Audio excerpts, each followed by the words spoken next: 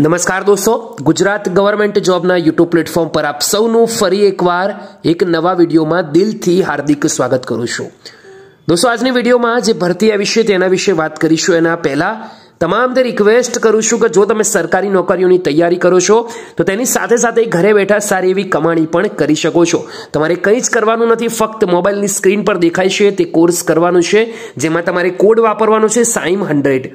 વિડીયોની નીચે જે લિંક આપેલી છે, ત્યાં તમારે રજીસ્ટ્રેશન કરવાનું છે અને આ કોડ વાપરવાનું છે. આ કોડ વાપરતાની સાથે હવે આ કોર્સ તમે ફ્રીમાં કરી શકશો અને આ કોર્સ કર્યા પછી તમને ફ્રીમાં સર્ટિફિકેટ મળશે જે ઘણી બધી સરકારી ભરતીઓમાં તમને ખૂબ જ કામે લાગશે. તો રાહ કોની જોવો છો. લિંક વિડીયોની નીચે અવેલેબલ છે. ફટાફટ ક્લિક કરો, રજીસ્ટ્રેશન કરો અને તમારા બીજા મિત્રો સુધી જરૂરથી શેર કરો. નમસ્કાર દોસ્તો. ગુજરાત ગવર્મેન્ટ જોબના યુટ્યુબ પ્લેટફોર્મ પર આપ સૌનું ફરી એકવાર એક નવા વિડીયોમાં દિલથી હાર્દિક સ્વાગત કરું છું. દોસ્તો, આજની વિડીયોમાં જુનિયર ક્લર્ક ભરતી રિલેટેડ ખૂબ જ મહત્વના સમાચાર આવ્યા છે. તેના વિશે વિગતવાર વાત કરીશું. પરંતુ એની પહેલા આપણી ટેલિગ્રામ ચેનલ, જેનું નામ છે ગુજરાત ગવર્મેન્ટ જોબ. હજી સુધી દોસ્તો જોડાવાનું બાકી હોય તો જોઈન કરી લેજો. આપણી ટેલિગ્રામ ચેનલની લિંક આજની આ વિડીયોની નીચે તમને મળી જશે. અને દોસ્તો, બીજા મહત્વના સમાચાર એ રહે છે કે આપણી આ યુટ્યુબ ચેનલ પર પણ તમને દરરોજ મહત્વની અપડેટ મળતી રહેશે. તો દોસ્તો, ફટાફટ એમાં પણ જોઈન કરી લેજો. જેથી કરી જ્યારે પણ નવી કોઈ ઇન્ફોર્મેશન આવે, તો સૌથી પહેલાં તમને તમારા મોબાઈલની અંદર ફ્રીમાં મળી જાય. દોસ્તો, આગળ વાત કરીએ તો પૂરેપૂરી જુનિયર ક્લર્કની ભરતી જ નવી આવી ગઈ છે. એક બાજુ પંચાયત વિભાગ દ્વારા જુનિયર ક્લર્ક ભરતી પરીક્ષા રદ કરવામાં આવી છે. તો બીજી બાજુ બીએમસી એટલે કે ભાવનગર મહાનગરપાલિકા દ્વારા ઓજસની ઓફિશિયલ વેબસાઇટ પર પૂરેપૂરી, આખે આખી નવી ભરતીની જાહેરાત જ કરી દીધી છે. હવે આ જે ભરતી છે, ઓજસ પર આવી છે, તો તેના વિશે જે પણ જરૂરી માહિતી હશે, જેવી કે લાયકાતના ધોરણો, જરૂરી શરતો, અગત્યની જે પણ તારીખો છે, સંપૂર્ણ જાણકારી આજની વિડીયોમાં મેળવીશું. પરંતુ દોસ્તો, એની પહેલા એ જ વાત કહીશ કે આપણી ટેલિગ્રામ ચેનલ અને આપણા યુટ્યુબ પ્લેટફોર્મ પર હજી સુધી જોડાવાનું બાકી હોય તો જોઈન કરી લેજો. તો દોસ્તો, ભાવનગર મહાનગરપાલિકા તરફથી રોજ સવાર સવારમાં એક નવી નોટિફિકેશન આવી હતી. ન્યૂઝ પેપરની અંદર પણ આ જાણકારી આવી હતી અને ઓફિશિયલ વેબસાઇટ પર પણ આ માહિતી મૂકી દેવામાં આવી છે. તો આ જે અપડેટ છે ભાવનગર મહાનગરપાલિકા તરફથી, એના ફોર્મ તમે એક ફેબ્રુઆરીથી ભરી શકશો અને જ્યારે આ ભરતી છે તેની છેલ્લી તારીખ એકવીસ ફેબ્રુઆરી રહેશે. એકવીસ ફેબ્રુઆરી રાત્રિના બાર વાગ્યા સુધી તમે ઓનલાઈન માધ્યમથી, એટલે કે ઓજસની ઓફિશિયલ વેબસાઇટ પર જઈને અરજી કરી શકશો. તો દોસ્તો, આ છે બેઝિક વાત. હવે ખાસ નોંધ લઈએ તો ભાવનગર મહાનગરપાલિકા દ્વારા સીધી ભરતીથી જગ્યાઓ ભરવા માટે અરજીઓ મંગાવેલ છે. આ ઉપરાંત તમામ સંવર્ગોની લેખિત પરીક્ષા એક જ દિવસે અને એક જ તારીખ અને સમયે લેવાનાર છે, જે ધ્યાનમાં લઈને આ સંવર્ગમાં અરજી કન્ફર્મ કરવા તમામ ઉમેદવારોને જણાવવામાં આવે છે. જગ્યાનું નામ છે જુનિયર ક્લર્ક સીધી ભરતીથી જગ્યાઓ ભરવાનું માહિતી દર્શાવતું પત્રક દોસ્તો, આ પ્રમાણે છે. જુનિયર ક્લર્કની જે ભરતી આવી છે, તેમાં ટોટલ છત્રીસ જગ્યાઓ છે અને જે છત્રીસ જગ્યાઓ છે તેને કેટેગરી વાઇઝ પુરુષ અને મહિલાઓમાં કઈ રીતથી ડિવિઝન કરવામાં આવ્યું છે તેના વિશે દોસ્તો વાત કરીએ. એના પહેલા જરૂરી શૈક્ષણિક લાયકાત તરફ એક નજર કરીએ.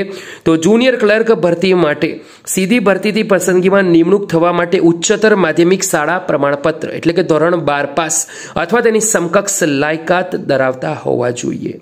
Gujarat civil services classification and recruitment rules nineteen sixty seven મુજબ પ્રવર્તમાન જોગવાઈઓ અનુસાર કોમ્પ્યુટરની જાણકારી અંગેનું માન્ય સંસ્થાનું પ્રમાણપત્ર હોવું જોઈએ. ગુજરાતી હિન્દી અને અંગ્રેજી ભાષાનું પૂરતું જ્ઞાન બેઝિક નોલેજ પણ હોવું જોઈએ. પગાર ધોરણની વાત કરીએ તો પ્રથમ પાંચ વર્ષ માટે ફિક્સ ઓગણીસ નવસો પચાસ નિયત ફિક્સ સેલેરી મળશે. ત્યારબાદ પાંચ વર્ષની સેવાઓ જો સંતોષકારક રીતે જણાશે તો સાતમા પગાર પંચ મુજબ પે મેટ્રિક્સ લેવલ બે ને અનુરૂપ. રૂપિયા ઓગણીસ નવસોથી ત્રેસઠ હજાર બસો નિયમિત નિમણૂક મળવા પાત્ર રહેશે. અને આ પ્રમાણે તમને સેલરી પણ મળશે. હવે દોસ્તો આ જે ભરતી આવી છે, તેમાં એજ કેટલી હશે, એટલે કે ઉંમર કેટલી રહેશે, તો અરજી સ્વીકારવાની છેલ્લી તારીખના રોજ ઉંમર તેત્રીસ વર્ષથી વધારે હોવી જોઈએ નહીં. આ તમારે ખાસ ધ્યાનમાં દોસ્તો રાખવાનું છે. આગળ વાત કરીએ વય મર્યાદાની, તો અઢાર વર્ષથી તેત્રીસ વર્ષની વચ્ચે તમારી એજ હોવી જરૂરી છે. મૂળ ગુજરાતના હોય તેવા અનામત વર્ગના ઉમેદવારો, તમામ મહિલા વિકલાંગ ઉમેદવારોની ઉપલી વયમર્યાદામાં નિયમ અનુસાર છૂટછાટ મળશે. હવે દોસ્તો, આ જે છૂટછાટ છે, તેના તરફ એક નજર કરીએ. તો સામાન્ય જે મહિલા ઉમેદવારો છે, જે ઓપન કેટેગરીની મહિલા ફિમેલ કેન્ડિડેટ છે, તેમને પાંચ વર્ષની એમને એમ છૂટ આપવામાં આવશે. અનામત વર્ગના પુરુષ ઉમેદવારોને પાંચ વર્ષની છૂટછાટ રહેશે. અનામત વર્ગના મહિલા ઉમેદવારોને દસ વર્ષ. સામાન્ય વર્ગના વિકલાંગ પુરુષ ઉમેદવારોને પાંચ વર્ષ. સામાન્ય વર્ગના વિકલાંગ મહિલા ઉમેદવારોને દસ વર્ષ. અનામત વર્ગના વિકલાંગ પુરુષ ઉમેદવારોને દસ. જ્યારે અનામત વર્ગના વિકલાંગ મહિલા ઉમેદવારોને પંદર વર્ષ સુધી છૂટછાટ મળશે. જ્યારે માજી સૈનિકને પણ ઉપલી વય મર્યાદાની અંદર છૂટછાટ મળશે. તે તમારે ખાસ ધ્યાન રાખવાનું છે. દોસ્તો, હવે આગળ વાત કરીએ સમય ન બગાડતા. તો તમામ કેટેગરીના ઉમેદવારોએ ઉપલી વય મર્યાદામાં મળવા પાત્ર છૂટછાટ સાથેની ઉંમર. નિયત તારીખે કોઈ પણ સંજોગોમાં પિસ્તાલીસ વર્ષ કરતાં વધારે હોવી જોઈએ નહીં. એ તમારે ખાસ ધ્યાન રાખવાનું છે. તમામ ઉમેદવારોના કિસ્સામાં વય મર્યાદા, શૈક્ષણિક લાયકાત, અનુભવ અને નોન ક્રિમિલિયર સર્ટિફિકેટ અરજી છેલ્લી તારીખની સ્થિતિએ ગણવામાં આવશે. નોંધ લખી છે, નજર કરીએ. તો અનામત કક્ષાના ઉમેદવારો બિન અનામત જગ્યા માટે અરજી કરી શકશે, પરંતુ તેમની પસંદગી માટેના ધોરણો બિન અનામત કક્ષાના લાગુ પડશે. ઉંમર અરજી સ્વીકારવાની છેલ્લી તારીખના રોજ ગણવી ગણવામાં આવશે, એટલે કે એકવીસ ફેબ્રુઆરી. દોસ્તો, જે જગ્યાઓ છે તેનું રિઝર્વેશન, તેનું ડિસ્ટ્રીબ્યુશન, તેનું કઈ રીતથી કરવામાં આવ્યું છે? કેટેગરી વાઇઝ પુરુષ અને મહિલાઓની અંદર એમાં વાત કરીએ તો સૌથી પહેલાં બીએમસી એટલે કે ભાવનગર મહાનગરપાલિકા દ્વારા BMC recruitment two thousand twenty three for junior clerk for twenty six vacancy તો જે છત્રીસ વેકેન્સી આવી છે થર્ટી સિક્સ વેકેન્સી આવી છે, તેને ડિસ્ટ્રીબ્યુટ કઈ રીતથી કરવામાં આવી છે તેના તરફ એક નજર કરીએ. તો સૌથી પહેલાં આવશે અનુસૂચિત જાતિ. અનુસૂચિત જાતિમાં પુરુષો માટે ચાર જગ્યા, મહિલાઓ માટે બે જગ્યાઓ રહેશે. અનુસૂચિત જનજાતિની વાત કરીએ તો પુરુષો માટે એક પણ અને મહિલાઓ માટે એક પણ જગ્યા નથી. સામાજિક અને શૈક્ષણિક પછાત વર્ગની વાત કરીએ તો પુરુષો માટે પાંચ જગ્યાઓ એલોકેટ કરવામાં આવી છે, જ્યારે મહિલાઓને ફક્ત બે જ જગ્યાઓ મળશે.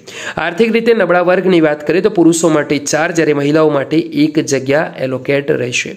અને લાસ્ટમાં બિન અનામત ઓપન કેટેગરી રિઝર્વ કેન્ડિડેટની વાત કરું તો બિન અનામતમાં પુરુષો માટે તેર વેકેન્સી છે, જ્યારે મહિલાઓ માટે પાંચ વેકેન્સીઓ રહેશે. તો આ રીતથી જગ્યાઓનું ડિસ્ટ્રીબ્યુશન કરવામાં આવ્યું છે. આ ઉપરાંત માજી સૈનિક માટે જે તે કેટેગરી કેટેગરીમાં દસ ટકા જગ્યાઓ ફરજિયાત અનામત રહેશે. શારીરિક અશક્તતા ધરાવતા ઉમેદવારો માટે ત્રણ ટકા અનામત. જ્યારે મહિલાઓ માટે તેત્રીસ ટકા જગ્યાઓ અનામત કક્ષાની રહેશે.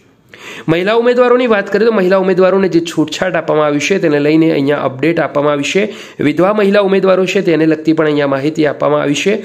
માજી સૈનિક ઉમેદવારો છે તેમના માટે પણ અહીંયા માહિતી આપવામાં આવી છે.